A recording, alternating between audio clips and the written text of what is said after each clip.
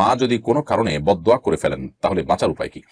দেখুন, যদি কেউ অন্যায়ভাবে বদদোয়া করে থাকেন, অথবা কেউ যদি আপনার রাগের বশবর্তী হয়ে বদদোয়া করে থাকেন, পরবর্তীতে তার বোধোদয় হয় তিনি তার অবস্থান থেকে সরে আসেন, ইনশাআল্লাহ বিদিল্লাহের কারণে আপনার কোনো গুণ হবে না, ক্ষতি হবে না।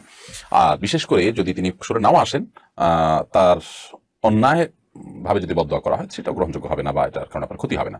তবে মা বাবা তারা যেন মনে কষ্ট না পায়, সেরকম উদ্যোগ নেওয়া উচিত। আপনার পক্ষ থেকে কোনো অসদাচরণ করা হয়নি। তারা নিজেরা অন্যায়ভাবে আপনার প্রতি মনে কষ্ট নিয়ে বসে আছেন, তাহলে আপনার কোনো ক্ষতি হবে না।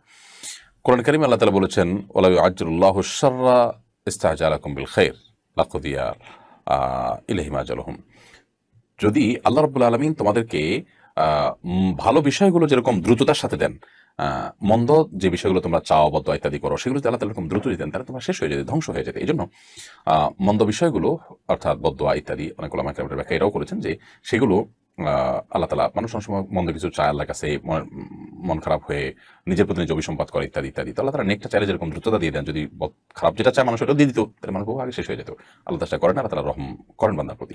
তবে বাবা মা আপনার কোনো আচরণ কারণে তাদের জন্য কষ্ট না হয়, তাহলে সেক্ষেত্রে তো এটি ডেঞ্জারাস এবং ভয়াবহ বিষয় হবে।